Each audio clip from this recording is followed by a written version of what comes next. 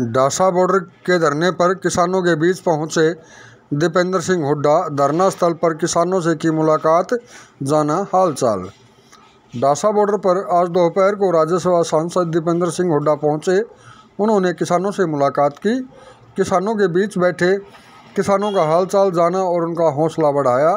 हुड्डा ने किसानों को अपना सहयोग व समर्थन देने की बात दोहराई और कहा कि सरकार किसानों की अनदेखी कर रही है।